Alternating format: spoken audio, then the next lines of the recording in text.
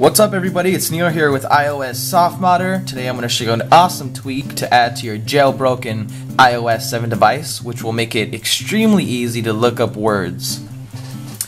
So, as it stands now, when you're um, looking up definitions or whatnot, your device comes with, the, with dictionaries that you can download and apply, which will let you uh, define words when you highlight them offline.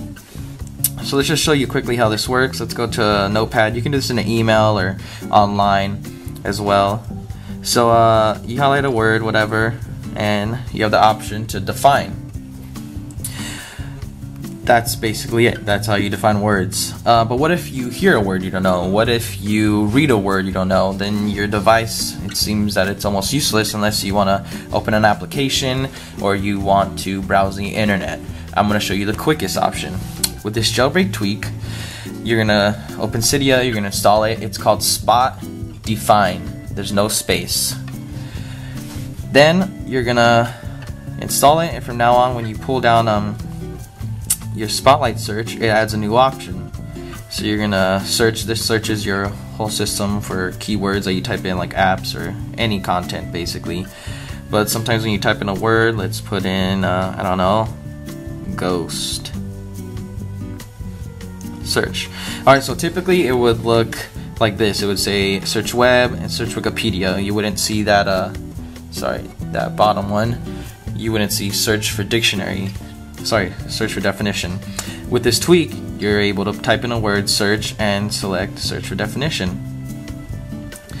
Now, if you haven't already, when you do this, it will come up blank unless you add your dictionaries. So don't be uh, don't be worried. Don't think the tweak doesn't work if it if it says no definition. It's only because you haven't added your dictionaries.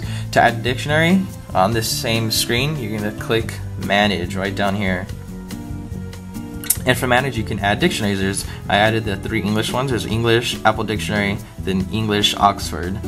Um, you can also scroll down and there's uh, language-based dictionaries. And uh, the great thing is after you download them and and they're on your on your device, you can look up words offline. So rendering those applications and browsing the internet useless.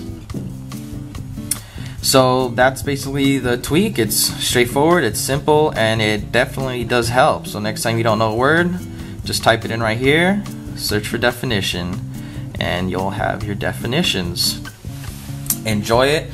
For details and links, check out the full tutorial on iOS Softmodder. Subscribe, like, leave a comment. Thank you.